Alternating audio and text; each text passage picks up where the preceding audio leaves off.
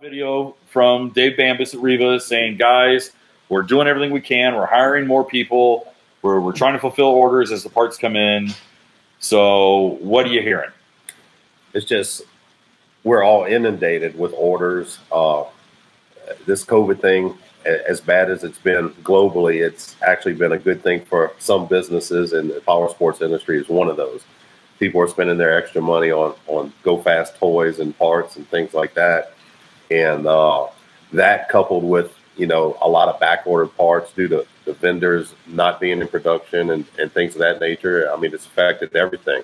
Yamaha uh, factory. Uh, ride by a Chevrolet dealership, you're not going to see any any trucks in the lot. I mean, the, these lots are bare because they're not getting new vehicle units, and the same thing's happening to the parts industry.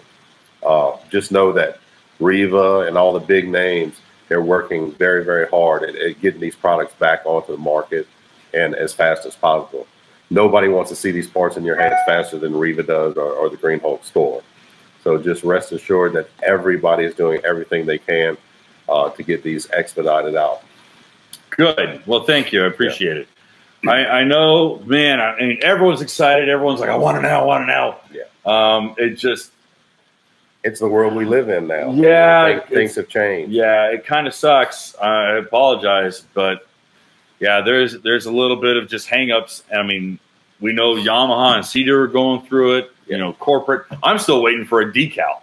that decal still yeah. hasn't shown up. Right. It's not your fault. I ordered it through you, but it's not like I mean they they when they come in, they come in. That's it. So yeah, it's unfortunate. Hey uh, guys, thanks for hanging out.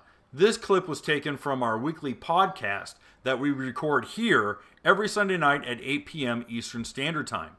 If you want to watch the whole video, you can go to the Watercraft Journal's YouTube channel, go to playlists, and then click on live sessions. You're going to see it there. Otherwise, go ahead and leave a like, a comment, and definitely subscribe to the channel. It helps us grow. And again, thanks again for watching our videos, and we hope to see you soon.